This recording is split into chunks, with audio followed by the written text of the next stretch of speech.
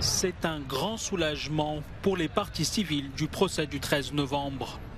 La Cour d'assises spéciale de Paris a condamné ce mercredi Salah Abdeslam, le seul membre encore en vie des commandos, à la perpétuité incompressible. Cette peine rend infime la possibilité d'une libération. Jusque-là, elle n'avait été prononcée qu'à quatre reprises en France. Les autres accusés de ce procès historique se sont vus infliger des peines allant de deux ans de prison à la perpétuité, avec période de sûreté pour certains et incompressible pour d'autres. La salle d'audience n'avait jamais connu une telle affluence. Après ce long procès qui a duré dix mois, les rescapés et proches de victimes disent être soulagés et satisfaits de la décision. L'éventail des peines montre bien que le jugement a été individuel, ce qu'il doit être. Ce qui est important, c'est que au niveau, pour nous, on a vu un, procès qui est euh, mémorable, je dirais qui est de très, bonne, de très bonne densité, à la fois dans la justice, à la fois dans, dans la possibilité à tout le monde de pouvoir s'exprimer. Je suis satisfait des peines et euh, je pense que beaucoup, euh, c'est juste. Il ne faut pas exagérer, demander plus, mais je pense que voilà, ça a été fait et dans le respect euh, des lois et, c'est bien. Lundi, je vais retourner au travail. Je pense qu'il va me falloir de longues semaines pour un peu redescendre, pour un peu avancer, pour un peu vivre euh, les choses euh, et puis analyser ce que je viens de vivre. Mais vraiment, ouais, il y a un besoin de retourner à un quotidien normal. Le 13 novembre 2015, une série d'attentats simultanés ont été perpétrés à Paris et à Saint-Denis. Ces attaques, qui ont traumatisé tout un pays, ont fait 130 morts et plus de 400 blessés. Ce serait l'échange de prisonniers le plus important depuis le début de la guerre. Sur ces images diffusées par les services de sécurité ukrainiens, au moins 144 hommes, dont une grande partie de combattants capturés suite à la chute de l'usine Azovstal de Mariupol. Ils étaient jusqu'ici détenus par les forces russes.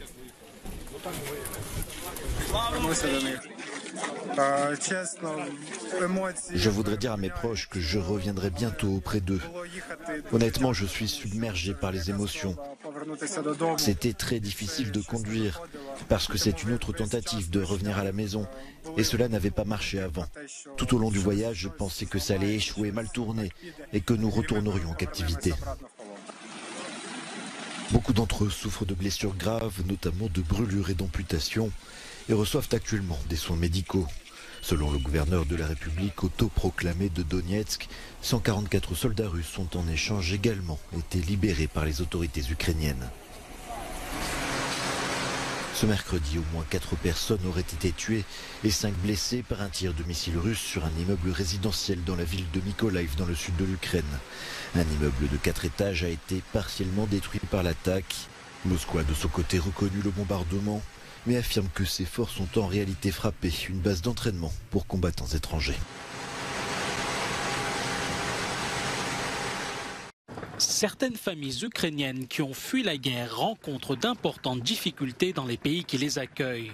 C'est le cas de Valentina Kassian qui est arrivée en Espagne avec sa famille. Pendant une semaine, nous sommes restés dans un hôtel à Madrid. Puis un matin, nous nous sommes retrouvés avec nos valises à chercher un endroit où passer la nuit, un endroit où manger. Nous ne savions pas où aller, à qui nous adresser, à quelle organisation demander de l'aide.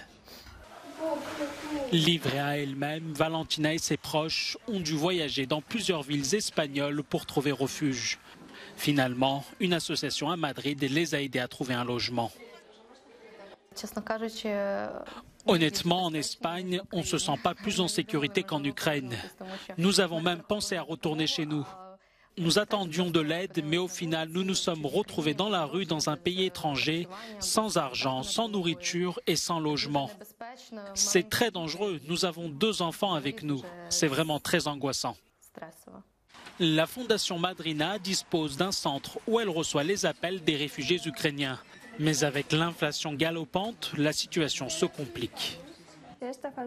Nous nous occupons de cette famille depuis maintenant trois mois. Malheureusement, les factures d'électricité et d'eau ont beaucoup augmenté. Nous ne pouvons plus nous occuper de cette famille. Depuis le début de la guerre, quelques 125 000 réfugiés ukrainiens sont arrivés en Espagne. Le gouvernement a annoncé une aide de 400 euros à partir de juillet pour ceux qui n'ont pas effectué les démarches administratives et se sont retrouvés en dehors du dispositif d'accueil. Selon la Fondation, l'intégration des réfugiés en Espagne passe forcément par le travail. Il faut favoriser une intégration immédiate de ces personnes dans le marché du travail espagnol avec une reconnaissance de leurs qualifications. Et il faut inciter les entreprises à les embaucher grâce à des déductions fiscales.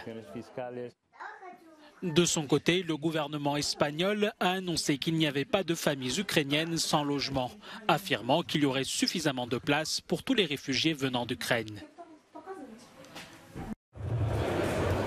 Avant d'entamer le dernier jour du sommet à Madrid, les dirigeants des pays membres de l'OTAN ont rechargé leur batterie avec une petite visite du musée du Prado.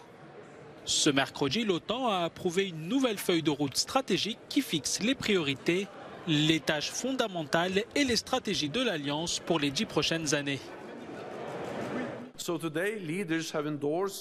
Aujourd'hui, les dirigeants ont approuvé le nouveau concept stratégique de l'OTAN et il est publié en ce moment même.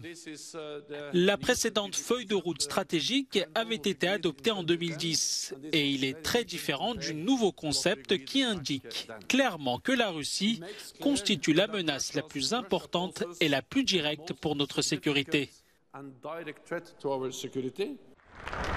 Affichant leur unité, les pays de l'OTAN ont validé un renforcement de leur présence militaire sur le flanc oriental de l'Alliance et ils ont promis de soutenir l'Ukraine aussi longtemps que nécessaire. Le sommet de Madrid a aussi permis de lancer officiellement le processus d'adhésion de la Suède et la Finlande après la levée du veto turc. Nous devons garder à l'esprit que la Finlande a pendant des décennies, et plus particulièrement au cours de la dernière, développé un partenariat renforcé avec l'OTAN, ainsi qu'une coopération bilatérale avec les États-Unis et le Royaume-Uni. La menace russe et la défense de l'Ukraine ont pris une grande place dans les discussions des dirigeants occidentaux. Mais l'Alliance se préoccupe aussi d'autres problématiques. La nouvelle feuille de route cible pour la première fois la Chine qui représente selon l'OTAN un défi pour sa sécurité. Si la Géorgie veut obtenir le statut de candidate à l'Union européenne, il lui reste beaucoup à faire pour mettre en œuvre les réformes réclamées par l'UE. Parmi elles, la question de la propriété intellectuelle. La plupart des Géorgiens ont un accès en ligne illégal et gratuit à tous les films et émissions de télévision récemment sortis, et ça, c'est une violation des droits de propriété intellectuelle. Nous communiquons quotidiennement avec la Commission nationale des communications pour qu'elle bloque tous les sites pirates. Le fait qu'il existe des alternatives légales en Géorgie est un pas en avant très important. Le seul argument dont disposaient ces sites pirates et leurs partisans était qu'il n'y avait pas d'alternative. Cet argument n'est plus valable aujourd'hui alors que la Géorgie a demandé d'adhérer à l'UE. Il est vital que la propriété intellectuelle soit protégée. Outre l'obligation fixée par l'accord d'association avec l'UE, la protection de la propriété intellectuelle contribuera au cinéma géorgien. Il est rare en effet que les films géorgiens génèrent des revenus par la vente de billets, la plupart d'entre eux étant disponibles en ligne gratuitement, parfois même avant la première. En Géorgie, les films ne sont pas protégés par la propriété intellectuelle. Les cinéastes souffrent de ne pas pouvoir les vendre. Les spectateurs qui regardent les films sur un ordinateur gratuitement ne payent plus de billets de cinéma.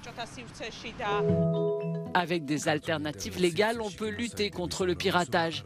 Parallèlement aux services de streaming internationaux disponibles, une alternative locale est en cours de développement.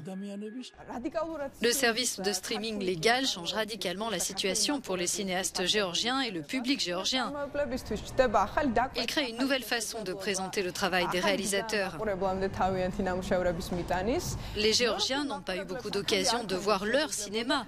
Le cinéma géorgien a vécu à part et n'a pas atteint un large public. Tbilissi a déposé sa candidature d'adhésion début mars, comme l'Ukraine et la Moldavie. Mais contrairement à ces deux pays, les 27 ne lui ont pas accordé le statut tant désiré.